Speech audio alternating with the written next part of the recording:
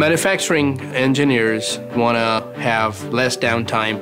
They want to have uh, flexibility with their uh, equipment and they want to have a 24-7 production.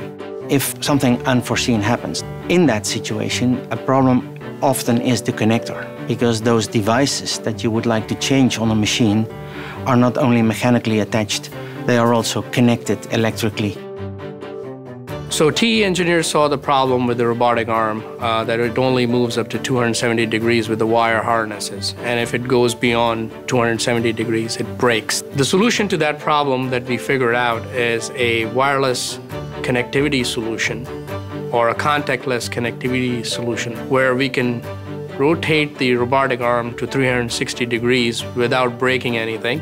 This contactless connectivity is called ARISO. The current version of ARISO that we take to market uh, allows the customer to effectively, with high efficiency, bridge a distance of up to three millimeters uh, with a given form factor of M12.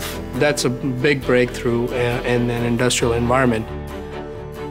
TE engineers meet with the manufacturing engineers or customers engineers firsthand and try to understand their problems.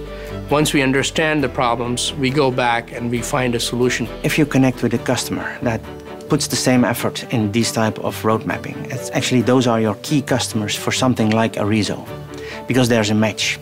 That customer uh, actually changes from a customer into a partner.